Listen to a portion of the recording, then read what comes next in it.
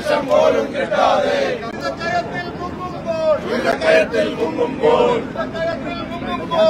കയത്തിൽ മുങ്ങുമ്പോൾ കയത്തിൽ മുങ്ങുമ്പോൾ ആത്മഹത്യ ചെയ്യുമ്പോൾ ആത്മഹത്യ ചെയ്യുമ്പോൾ ആത്മഹത്യ ചെയ്യുമ്പോൾ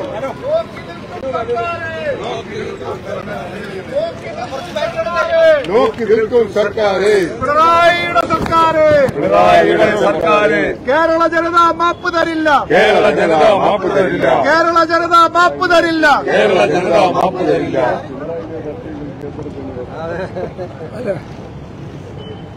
സാമൂഹ്യ സുരക്ഷാ പെൻഷൻ അഞ്ചു മാസമായി സംസ്ഥാനത്ത് മുടങ്ങിയിരിക്കുക. അതിന്റെ പേരിൽ ഒരാൾ ചക്കിട്ടപാറ സ്വദേശിയായ സി ജോസഫ് ആത്മഹത്യ ചെയ്യുകയും ചെയ്തു.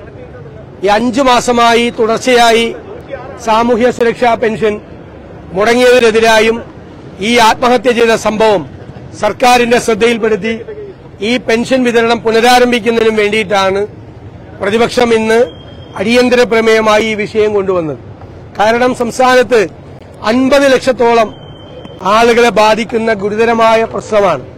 മരുന്ന് മേടിക്കാൻ പണമില്ലാതെ ഒരു നേരത്തെ ഭക്ഷണത്തിന് നിവർത്തിയില്ലാതെ ഭിന്നശേഷിക്കാരായ ആളുകൾ വിധവകൾ അഗതികൾ പ്രായമായ വൃദ്ധരായ ആളുകൾ ഇവരെല്ലാവരും പ്രയാസപ്പെടുകയാണ്. സർക്കാർ ഒരു നടപടിയും സ്വീകരിക്കുന്നില്ല. സർക്കാരിന്റെ മുൻഗണനയിൽ ഈ അഞ്ചു മാസം ആളുകൾക്ക് പെൻഷൻ കൊടുക്കാത്തത് പരിഹരിക്കണം എന്നുള്ളൊരു നിലപാടില്ല. അവരിപ്പോഴും കേരളീയത്തെക്കുറിച്ചും നവകേരള സദസ്സിനെക്കുറിച്ചും സംസാരിക്കുകയാണ്. സർക്കാരിന്റെ മുൻഗണന ആർഭാടവും ദൂർത്തുമാണ് പാവപ്പെട്ടവർക്ക് പെൻഷൻ കൊടുക്കാനുള്ള സർക്കാരിന്റെ പ്രാഥമികമായ ഉത്തരവാദിത്തത്തിൽ നിന്നും അവർ ഒഴിഞ്ഞു പോവുകയാണ്. ഇതൊരു വല്ലാത്ത ഒരു സാഹചര്യമാണ് സംസ്ഥാനത്ത് ഉണ്ടായിരിക്കുന്നത്. രൂക്ഷമായ പ്രശ്നങ്ങൾ ഇനിയും ആളുകൾ ആത്മഹത്യയിലേക്ക് നയിക്കുന്ന തരത്തിലുള്ള രൂക്ഷമായ ഒരു പ്രതിസന്ധി പാവപ്പെട്ട മനുഷ്യർക്കുണ്ടായിരിക്കുന്നു സർക്കാർ ഒരു നടപടിയും സ്വീകരിക്കുന്നില്ല. എന്നിട്ട് പഴയ കാര്യങ്ങൾ പറയുകയാണ്. അതും ഞങ്ങൾ വളരെ കൃത്യമായ മറുപടി കൊടുത്തു. ഇവർ കഴിഞ്ഞ ഒരു ദശാബ്ദകാലമായി നിരന്തരമായി പറഞ്ഞുകൊണ്ടിരുന്നത് ഉമ്മൻചാണ്ടി സർക്കാരിന്റെ കാലത്ത് പതിനെട്ട് മാസത്തെ പെൻഷൻ മുടങ്ങിയെന്നാണ്. അത് പച്ചക്കള്ളമാണ് എന്ന് ഞങ്ങൾ തെളിവുകൾ നിരത്തി ഇന്ന് നിയമസഭയിൽ സി പി സി വിശ്വനാഥ് കൊണ്ടുവന്ന അടിയന്തര പ്രമേയ നോട്ടീസിലൂടെ ഞങ്ങൾ പറഞ്ഞു. ഈ ഗവൺമെന്റിലെ ധനകാര്യമന്ത്രി ഉൾപ്പെടെയുള്ള ആളുകൾ നൽകിയ മറുപടിയിലൂടെ രണ്ടായിരത്തി പതിനാല് നവംബർ ഡിസംബർ മാസത്തിലും രണ്ടായിരത്തി പതിനഞ്ച് ജനുവരി മാസത്തിലുമാണ് മൂന്ന് മാസമാണ് ഇത് മുടങ്ങിയത്. അത് എന്തുകൊണ്ടാണ് മുടങ്ങാൻ കാര്യം? അത് ഡയറക്റ്റ് ബെനഫിറ്റ് ട്രാൻസ്ഫർ ആക്കി അത് മാറ്റിയപ്പോഴുണ്ടായ സാങ്കേതിക തടസ്സം മാത്രമായിരുന്നു. ഗവൺമെന്റ് ഉമ്മൻചാണ്ടി ഗവൺമെന്റ് പണം അനുവദിച്ചിട്ടുണ്ടായിരുന്നു. ആ പണം കൊടുക്കാൻ പറ്റിയില്ല. സാങ്കേതിക തകരാറുണ്ട് അല്ലാതെ ഒരു മാസത്തെ പെൻഷൻ പോലും ആ കാലത്ത് മുടങ്ങിയിട്ടില്ല എന്ന് ഈ സർക്കാരിലെ മന്ത്രിമാർ തന്ന തെളിവുകളും.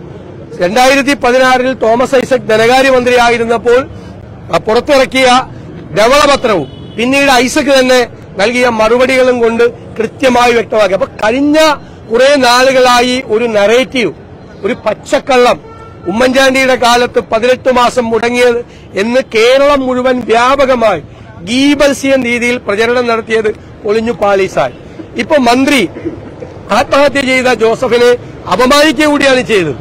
അയാൾ പെൻഷൻ കിട്ടാത്തതുകൊണ്ടല്ല മരിച്ചതെന്ന് മന്ത്രി പറയാം. എന്ത് വിവരത്തിന്റെ അടിസ്ഥാനത്തിലാണ് മന്ത്രി പറയുന്നത്? അയാൾ പതിനഞ്ച് ദിവസം മുമ്പ് പഞ്ചായത്തിന് കത്ത് കൊടുത്തു. എനിക്ക് കിട്ടിയില്ലെങ്കിൽ ജീവിക്കാൻ വയ്യ. ഭിന്നശേഷിക്കാരനാണ്. ഭാര്യ മരിച്ചുപോയി. ഇയാൾക്ക് സ്ട്രോക്ക് വന്നതാണ്. മകൾ ഭിന്നശേഷിക്കാരിയാണ്. ഒരു അഗതി മന്ദിരത്തിൽ ഏൽപ്പിച്ചിരിക്കുന്നു. അവിടെയും പണം കൊടുക്കണം. അപ്പോൾ അയാൾക്കുള്ള ആകെയുള്ള വരുമാനം ഇതാണ്. അമ്പത് സെന്റ് സ്ഥലത്തിനാണ് പട്ടയമുള്ളത് കുന്നാണ്. കൃഷി ചെയ്യാൻ പറ്റില്ല. അവിടെ നിന്ന് ജംഗ്ഷനിലെത്തി ഒരു ചായ കുടിക്കണമെങ്കിൽ എൺപത് രൂപ മുതൽ നൂറ്റി ഇരുപത് രൂപ വരെ കൊടുക്കണം. അങ്ങോട്ടും ഇങ്ങോട്ടും ഓട്ടോറിക്ഷയ്ക്ക് പോവാൻ. ഒരു നിവർത്തിയുമില്ലാത്ത പാവം മരിക്കാൻ നേരത്ത് ഒരു കുറിപ്പടിയിൽ മരുന്നിന്റെ കുറിപ്പടിയിൽ മരിക്കാനുള്ള കാരണം സർക്കാരാണെന്ന് എഴുതി വെച്ചു. അത് പോലീസ് എടുത്തു മാറ്റി. മന്ത്രി പറയുന്നത് ഇപ്പോഴും പോലീസ് അന്വേഷിക്കുകയാണ്. അപ്പോൾ ഒരാൾ ആത്മഹത്യ ചെയ്തത് പോലും തെറ്റിദ്ധരിപ്പിക്കുന്ന രീതിയിൽ അയാളെ അവഹേളിക്കുന്ന രീതിയിൽ മന്ത്രി നിയമസഭയിൽ സംസാരിക്കുകയാണ്. അടിമാലിയിലെ മറിയക്കുട്ടി മറിയച്ചേടത്തി ഭിക്ഷാപാത്രവുമായി തെരുവിലിറങ്ങിയപ്പോൾ അവർ ഭയങ്കര സമ്പന്നയാണ് എന്ന് പറഞ്ഞു സി പി എം സൈബർ ഗുണ്ടകൾ അവരെ ആക്രമിച്ചു. അവസാനം ദേശാഭിമാനി പത്രത്തിലടക്കം അവരോട് മാപ്പ് പറയേണ്ടി വന്നു. ചക്കിട്ടപാറയിൽ ആത്മഹത്യ ചെയ്ത പെൻഷൻ കിട്ടാത്തതുകൊണ്ട് പറഞ്ഞ് ഡിസംബറിൽ പെൻഷൻ കൊടുത്തെന്നാണ് തെറ്റിദ്ധരിപ്പിക്കാൻ വേണ്ടി പറയാണ് ഓഗസ്റ്റ് മാസത്തിലെ പെൻഷനാണ് ഡിസംബറിൽ കൊടുത്തത്. ഓഗസ്റ്റിലെ പെൻഷൻ. മനസ്സിലായില്ലേ? അപ്പോ സെപ്റ്റംബർ ഒക്ടോബർ നവംബർ ഡിസംബർ ജനുവരി. അഞ്ചു മാസമായി പെൻഷൻ കിട്ടിയിട്ടില്ല. ഡിസംബറിൽ പെൻഷൻ കൊടുത്തു എന്ന് പറയുന്നത് ഡിസംബറിലെ പെൻഷനല്ല. തെറ്റിദ്ധരിപ്പിക്കാൻ വേണ്ടി മന്ത്രി പറയാം. അത് ഓഗസ്റ്റ് മാസത്തിലെ പെൻഷനാണ് ഡിസംബറിൽ കൊടുത്തത്. അഞ്ചു മാസം തുടർച്ചയായി പെൻഷൻ കിട്ടിയിട്ടില്ല. എത്രമാത്രം കടമാണ്. പലരക്കിടയിൽ കടം. മരുന്ന് മെഡിക്കൽ ഷോപ്പിൽ കടം. എവിടെ പോയാലും കടം. ആളുകളെ അപമാനിക്കും. കുറെ നാൾ അഞ്ചു മാസമൊക്കെയായി കടകളിൽ കടം കടം കൊടുക്കാതിരുന്ന ആളുകൾ ചോദിക്കില്ല അവർക്കും ഈ പൈസ വേണ്ടേ? അങ്ങനെ ആളുകൾ അപമാനത്താൽ തലകുണിച്ചുകൊണ്ടാണ് ഈ പത്തൊമ്പത് ലക്ഷം പേർ കേരളത്തിൽ നടക്കുന്നത്.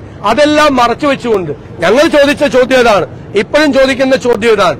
സർക്കാരിന്റെ മുൻഗണന ഏതാണ്? പ്രയോറിറ്റി ഏതാണ്? പാവപ്പെട്ട അമ്പത് ലക്ഷം പേർക്ക് മുടങ്ങിക്കിടക്കുന്ന അഞ്ച് മാസക്കാലത്തെ പെൻഷൻ കൊടുക്കുകയാണോ?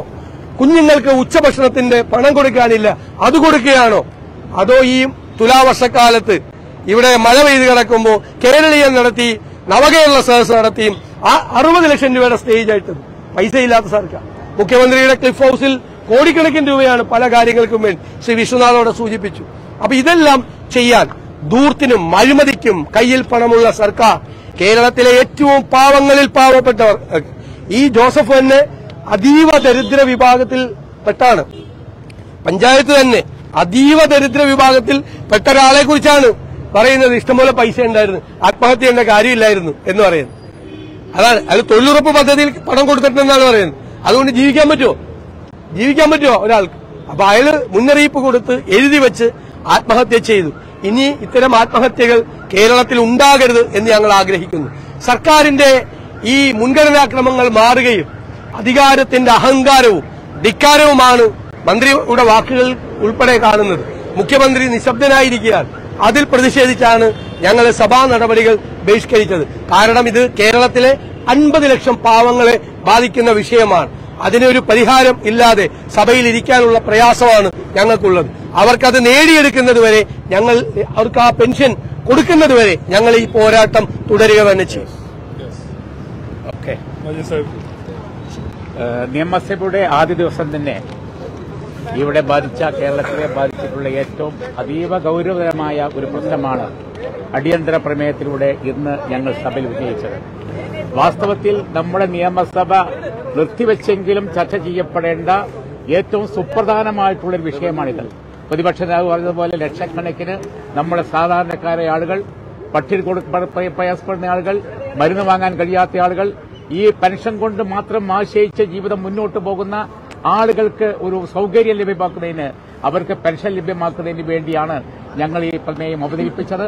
പക്ഷേ ഈ മറുപടിയിൽ ബന്ധപ്പെട്ട ധനകാര്യമന്ത്രി നൽകിയ മറുപടിയിൽ പ്രതിപക്ഷത്തെയും യു ഡി എഫിനെയും വിമർശിക്കാനും അധിക്ഷേപിക്കാനും തയ്യാറായി എന്നല്ലാതെ ഈ പെൻഷൻ എന്ന് കൊടുക്കും എന്നെ സംബന്ധിച്ച് യാതൊരുവിധ മറുപടിയും ഉണ്ടായിരുന്നില്ലെന്ന് മാത്രമല്ല ഇവിടെ പ്രതിപക്ഷ നേതാവ് പറഞ്ഞ പോലെ എല്ലാ പ്രയോറിറ്റിയും മറികടന്ന് ചെയ്യേണ്ട ഈ കാര്യത്തിൽ ഒരു നിലപാട് സ്വീകരിക്കാതെ മുന്നോട്ട് പോയതിന്റെ വെളിച്ചത്തിലാണ് പ്രതിപക്ഷം ഇന്ന് സഭ ബഹിഷ്കരിക്കേണ്ടത് ആദ്യ ദിവസം തന്നെ ഇങ്ങനെ സഭ ബഹിഷ്കരിക്കേണ്ടത് ഒരു പ്രത്യേകമായ സാഹചര്യത്തിലാണ്. നിർബന്ധാവസ്ഥയിലാണ് ജനങ്ങളെ ബാധിക്കുന്ന ഏറ്റവും ഗൗരവമായ ഒരു പ്രശ്നമായതുകൊണ്ടാണ് ഞങ്ങൾ ഈ തീരുമാനത്തിൽ വന്നത്. ഗവൺമെന്റ് തെറ്റിതിരുത്തി ഇവിടുത്തെ പാവപ്പെട്ട ആൾക്ക് കൊടുക്കേണ്ട പെൻഷൻ വേഗത്തിൽ കൊടുക്കാൻ നടപടിയുണ്ടാകുമെന്ന് ഞങ്ങൾ പ്രതീക്ഷിക്കുന്നു. കനേഡിയൻ മലയാളികളുടെ വാർത്താജാലകം